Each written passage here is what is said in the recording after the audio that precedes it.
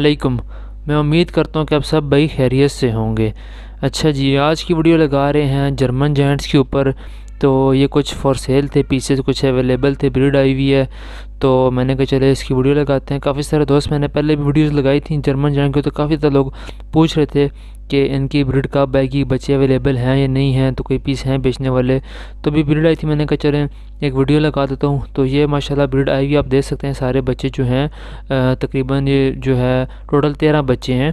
और इसमें से जो है सिर्फ़ एक फीमेल एक्स्ट्रा बाकी पूरे छः मादियाँ और छः नर थे। तो जिस दोस्त को चाहिए वही मिल जाएँगे। अभी तक जो है एक ट्रायो और दो पेयर सेल हो चुके हैं, यानी कि पीछे आपके तीन पेयर रह चुके हैं। तो अगर किसी दोस्त को चाहिए हुए तो मिल जाएँगे तीन पेयर और इनके पेरेंट्स आपको नज़र आ ही होंगे। अभी जो बच्चे हैं, इनके साथ माँ हैं तो आगे मैं भी वीडियो में इनका बाप भी दिखाऊँगा। तो माशाल्लाह अच्छी चीज़ है।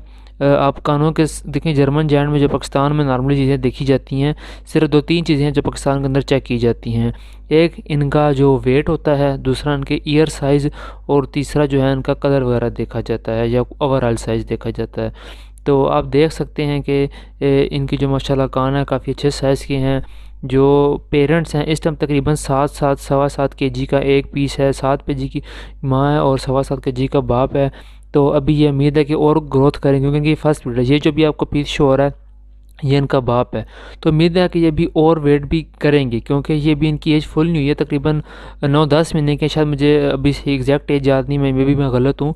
तो बहरहाल इसके आसपास ये, यानी कि मकसद ये कहने का कि फुल्ली ग्रो नहीं कोई जो जर्मन जॉइंट है, वो तकरीबन एटीन मंथ यानी कि डेढ़ साल तक भी अगर अच्छी लाइन हो तो डेढ़ साल तक भी वेट गेन करता रहता है। और पहले एक साल में दस महीने में अपना मैक्सिमम वेट वो गेन कर चुका होता है, फिर बहुत कम थोड़ा थोड़ा स्लोली स्लोली वेट गेन करता रहता है। तो ये बाकी पीसेस भी और जो है दिखा रहा हूँ, दूसरे पीसेस भी पड़े हुए हैं।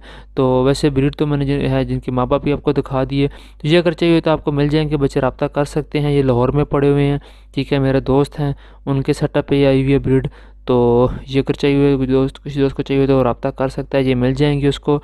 और कार को भी हो जाएँगे, जहाँ भी कहेंगे, कार को भी कोई इशू नहीं है, कार को करवाने का। प्राइस की बात करें तो प्राइस जो है इसका तीस हज़ार रुपये का पेयर है बच्चों का। एक पेयर आपको तीस हज़ार रुपये में मिलेगा। वैसे मार्केट प्राइस देखा जाए तो इससे थोड़ी ज़्यादा ही है, लेकिन मुनासब करके आपको तीस हज़ार रुपये का एक पेयर आपको मिल जाएगा इन तो उम्मीद करता हूँ कि वीडियो आपको पसंद आई होगी। आज की वीडियो के लिए इतनी काफ़ी। असलकम अल्लाह हाफिज़।